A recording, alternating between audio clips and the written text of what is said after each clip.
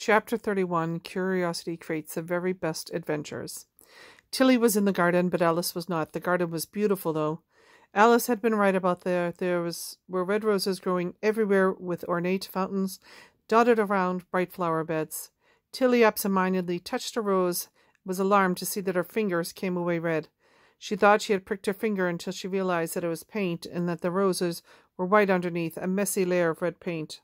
Of course, she thought. I'm in the Queen of Hearts garden, and she started looking for Alice with more urgency.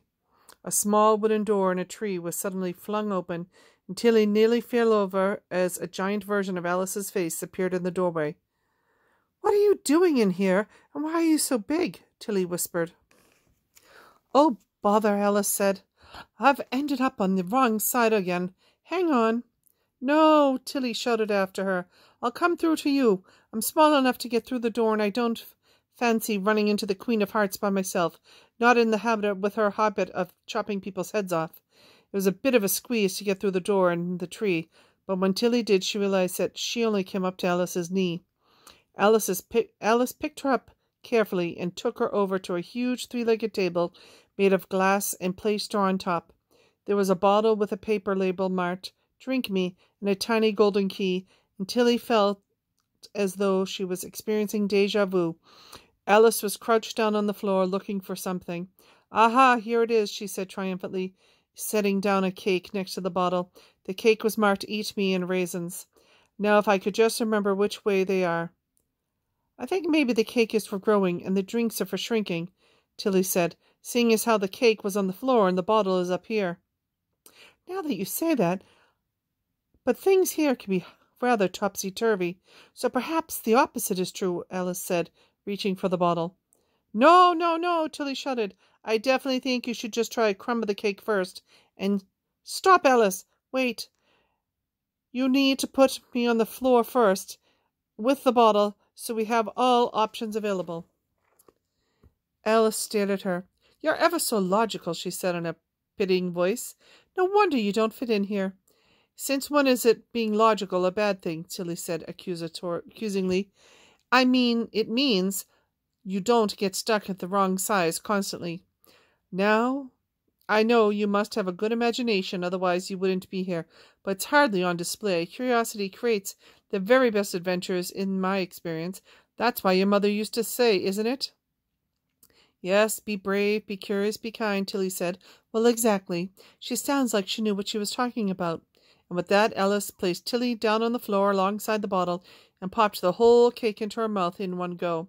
Within seconds she had shrunk to the same size as Tilly. You better have that key, Tilly said. Alice opened her palm to reveal it shining in her hand. Alice grinned triumphantly. Shall we? They walked back to the tiny door, at which Alice made a great song and dance about, opening with a dramatic flourish, and they were back in the beautiful garden with its rows dripping with paint. Alice touched one gingerly, and her fingers came away red. I wonder why they've been painted, she said. They already looked so beautiful. It's because the Queen of Hearts garden, Tilly said. You must know that it's your story. It's the Queen's garden? Alice said in horror. I've heard the most monstrous thing about her. We must make sure she doesn't spot us. What? How do you?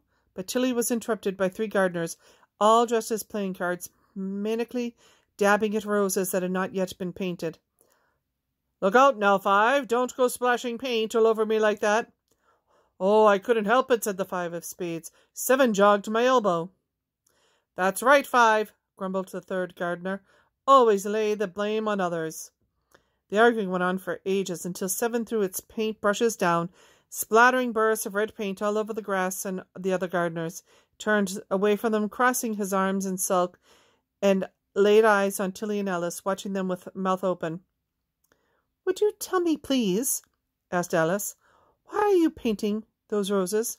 Why, the fact is, you see, miss, said the two of spades, this is here ought to have been a red rose tree, and we put a white one in by mistake, if the queen was to find out, we should have all our heads cut off, you know. So, you see, miss, we're doing our best afore she comes to.